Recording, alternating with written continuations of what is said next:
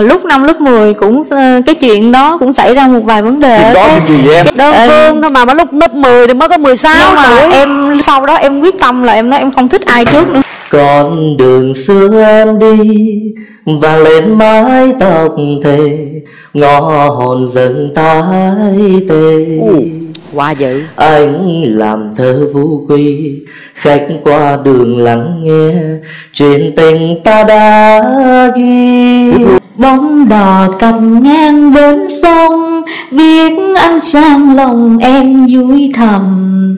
Viết bài thơ trên giấy hoa mang tiếng yêu gửi trao tình em. Đón xem chương trình ghép đôi thần tốc được phát sóng vào 22 giờ 30 phút chủ nhật hàng tuần trên kênh HTV7, 22 giờ 45 phút chủ nhật hàng tuần trên kênh YouTube MCV Media. mời bạn nữ bước ra sân khấu. Chào chị rồi mời bạn ngồi. Mời bạn nam. Rồi đi bạn. Rồi đã ổn định chỗ ngồi mời bạn nữ giới thiệu. Mình tên là Nguyễn Thị Mỹ Như ạ. mỹ như. Em ha 34 tuổi, em đang kinh doanh online. Em đang làm việc ở thành phố Hồ Chí Minh, quê mình ở đâu? Ở Bình Dương chị. rồi mời bạn trai giới thiệu. Dạ em tên Nguyễn Ngọc Phi Năm nay em 36 tuổi à, Em là người thành phố Hồ Chí Minh luôn. Hiện tại em đang công tác bên à, Làm gì bên em? nhà hàng khách sạn chị. Em là bếp trưởng điều hành bên à, nhà khách sạn đó chị. À bếp trưởng nấu ăn rất ngon ha. Bên 36 bên 34 hả? Đẹp à 34 à. Được đó rồi à, mình giới thiệu một chút xíu về à, điểm mạnh điểm yếu của mình cho bạn trai nghe đi như À, điểm mạnh của em là vui vẻ, hòa đồng. Trước em làm ngân hàng thì em là một nhân viên kinh doanh rất là giỏi. à Dạ. làm ngân hàng mà nghĩ về nhà bán hàng online Dạ. lý do tại sao Tại em thích tự kinh doanh hơn à, ạ. mình đang kinh doanh mặt hàng gì Em đang kinh doanh trang sức ạ. trang sức Dạ. wow bán hàng online nhiều khi lương nhiều hơn ngân hàng đó nha đừng có đùa à còn à, những cái điểm yếu của mình là điểm yếu gì À, điểm yếu của em là không có thích nấu ăn và cũng hơi nóng tính một tí xíu. vậy là ai nấu cho mình ăn? Thực ra thì em nấu ăn thì em nấu được mà tại vì em không có thích nấu nên em ít nấu thôi. công nhận thấy à, giống như trời xui đất khiến đó nha. Bên kia là không thích nấu ăn. Gặp ngay cái anh này là rất thích nấu ăn. Đầu bếp nữa chứ mới Trời, ghê công nhận trời xui đất khiến hay thiệt á.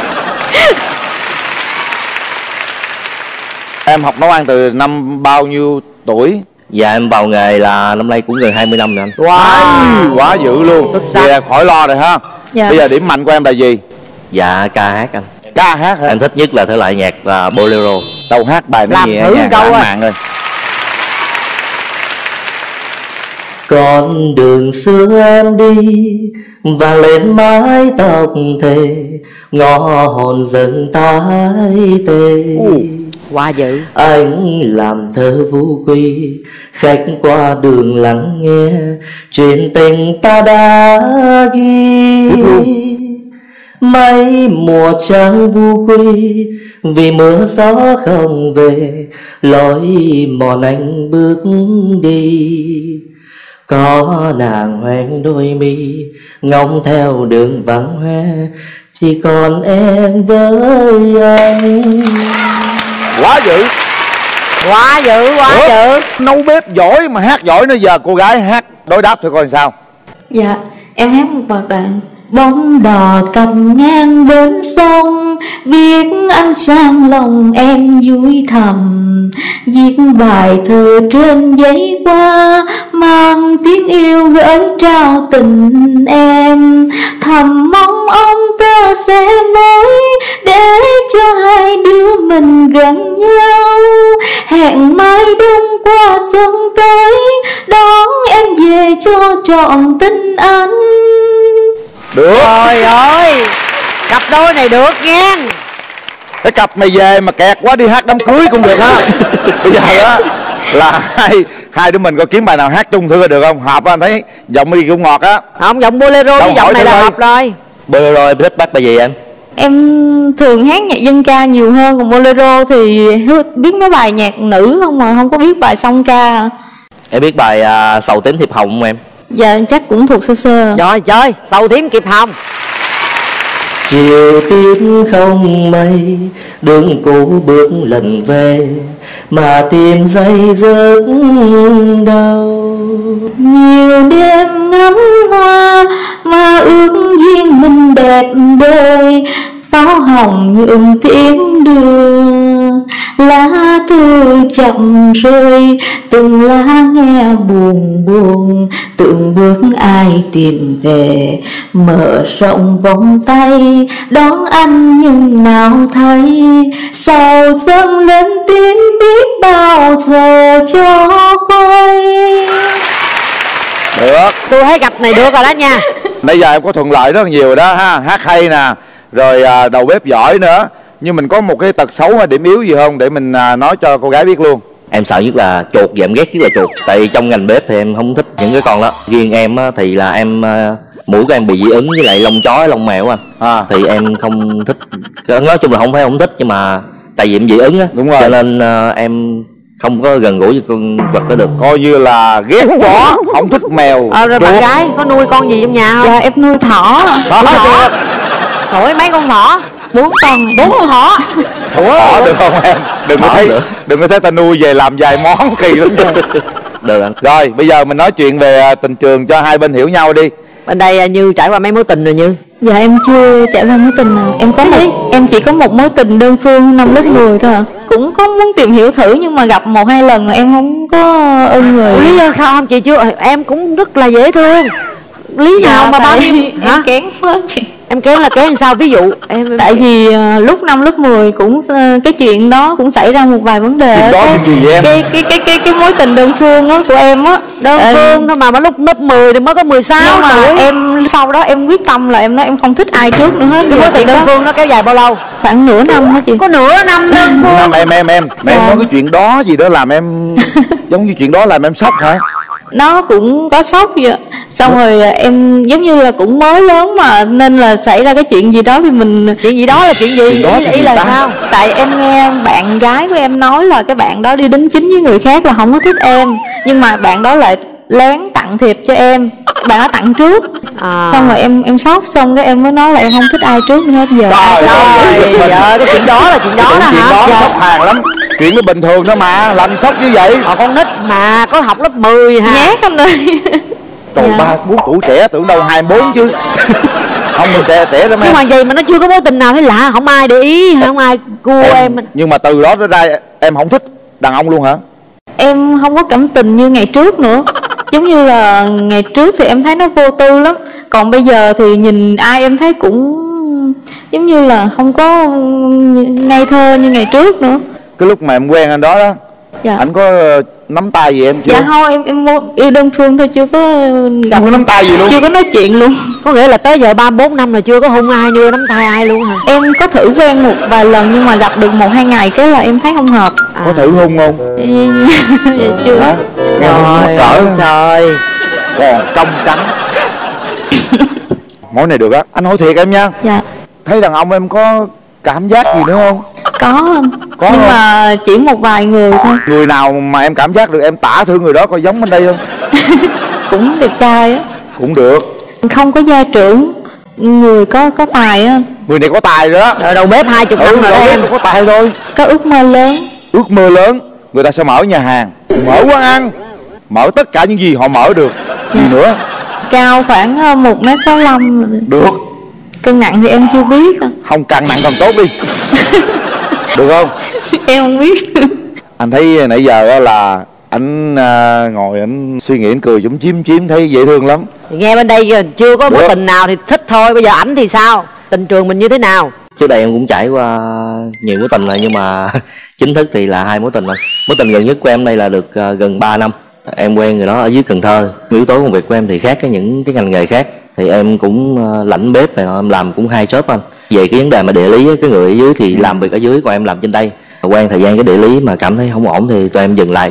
Tức là xa mặt cách lòng đó. Dạ chào chị. Dạ trời thôi giờ bỏ qua đi ha. Dạ. Bây giờ cô bên kia á là thấy cô hiền từ bây giờ em cảm giác cô ấy là người thế nào? Theo giọng nói thì em thấy người đó nói chung là hiền dịu. Về công việc thì em nghĩ người đó có tính cầu tiến đang làm về kinh doanh online thì cũng là hợp với hướng của em. Tại vì thời gian sắp tới em cũng muốn ờ, cũng muốn kinh doanh về vấn đề ăn uống. Đúng rồi em về nấu cổ bán online. Bây giờ mình có ý định phát triển kinh doanh mình sao không? Vì cô này cô muốn những người có ước mơ lớn. Ước mơ của bạn là gì? Em muốn mở một cái ờ, cửa hàng ăn uống riêng cho em. À. tại em về ờ, Âu Á thì em em em rành. Âu Á luôn. Dạ như là bán nhiều những món món snack á.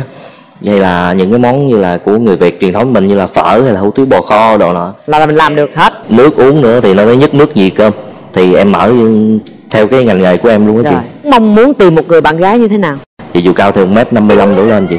Biết lắng nghe chia sẻ về à, cuộc sống về trong à, công việc. Và điều quan trọng hết là em à, đặt yếu tố đầu tiên ở một người phụ nữ đó là chính là sự chung thủy. Chắc chắn cô này là cô chung thủy Chung rồi. thủy lắm em thấy mối tình đầu mà yêu không được cái ở không luôn tới giờ đó. Mình lấy vợ về mình ở đâu? Nhà em ở thành phố luôn ở chung với lại bố mẹ. Mẹ em mất rồi còn lại còn có bố. Em chịu làm dâu không em. Tìm hiểu được thì cũng được chị được chị thấy là cặp đôi này là xứng rồi đó. Thấy rất là đẹp đôi luôn á bây giờ mình hỏi thêm ý kiến của người thân. Hôm nay em đi với ai như? Em đi với mẹ. Đó Dạ, dạ, con chào cô. Tôi ờ, xin kính chào ờ, hai MC Quyền Linh. tinh thần là nghiêm túc.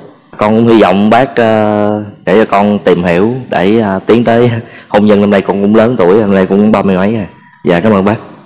Bạn trai hôm nay mình đi với ai nè? Dạ em đi với lại hai người dì đồng nghiệp và ông anh kết nghĩa chị dạ chào xin chị chào ờ, anh Quyền Linh với ờ, chị Cát Tường. Tôi là dì của ờ, cháu Phi, tại vì mẹ nó cũng mất rồi. Thành ra tôi làm dì tôi cũng lo cho nó. Nếu mà nó gặp được người mà hợp lý, hợp ý tình nó mà thành đôi đó thì tôi cũng đỡ lo phần nào. dạ Theo tôi thấy thì ờ, cái bạn nữ này nhìn cũng dễ thương, hai đứa nó cũng vừa với nhau á, thấy cũng xứng đôi vừa lứa thành nó tôi cũng mong sao cho tụi nó nó, nó hẹn hò nếu mà hợp á thì nó tiến tới để cho cho gia đình nó nó, nó có tin vui hơn. dạ Dạ. dạ cảm ơn dì ạ Dạ, chào. bây giờ là giờ phút à, quan trọng để cho hai bạn kéo cái hàng rào ra để hai bạn gặp nhau và trò chuyện với nhau à, hàng rào trái tim bắt đầu mở.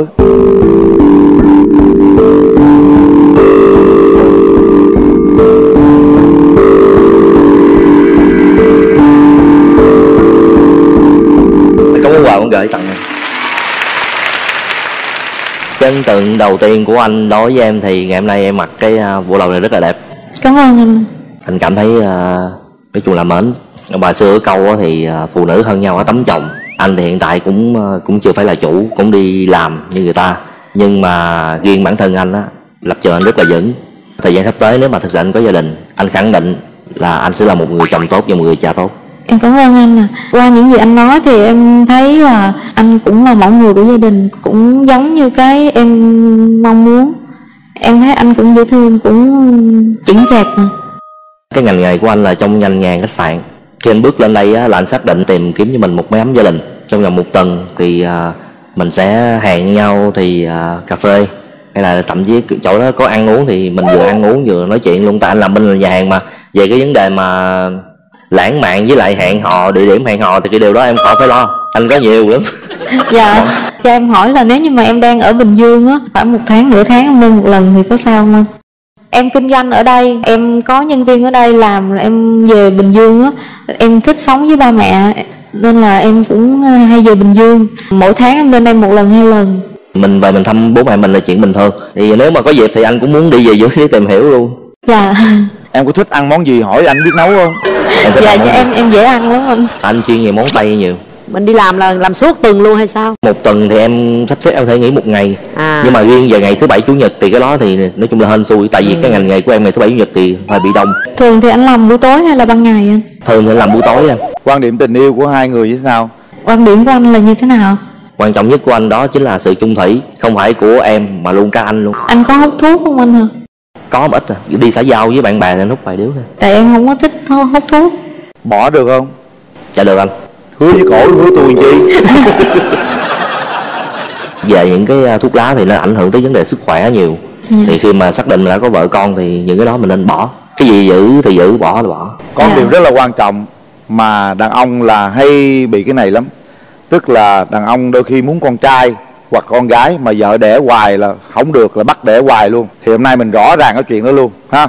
Dạ. Em hỏi đi. Dạ anh có nhất thiết phải có con trai không anh anh thì nói chung là con trai con gái gì cũng được nhưng mà riêng anh á, thì anh là thích con gái hơn. À, ví dụ như đẻ hoài không được con gái thì sao? Chuyện trai cũng được mà anh. Ừ đó. Nhưng mà trước tiên em muốn là một đứa trước để cho cái kinh tế của mình nó ổn định xong mới đầu mình mới tính tiếp thêm. Hiện tại thì ấn tượng ban đầu của anh á về em thì anh rất là thích em. Thì à, ngày tháng sau này á, thì mình tìm hiểu những cái à, khuyết điểm về cái ưu điểm thì ai cũng phải có hết. Thì anh cũng hy vọng là những cái uh, cái ưu điểm của anh sẽ bù lại cái khuyết điểm của em. Còn cái uh, khuyết điểm của anh thì em sẽ lấy cái ưu điểm của em em bù lại cái khuyết điểm của anh là hai hai mình là ok. Dạ có anh.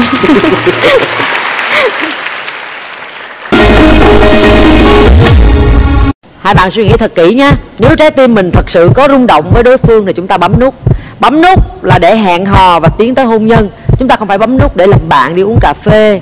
Suy nghĩ thật kỹ nhé một hai. Ba. Hết hết thời gian. ồ